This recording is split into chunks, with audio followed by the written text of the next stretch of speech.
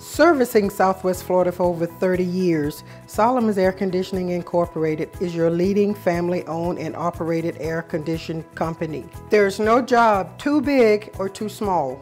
Solomon's Air Conditioning Incorporated is here for you.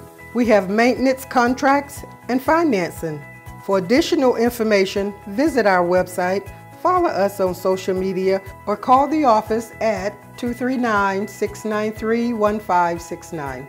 Remember, no matter what the weather is on the outside, have it your way on the inside. Solomon's Air Conditioning Incorporated. Service you can count on.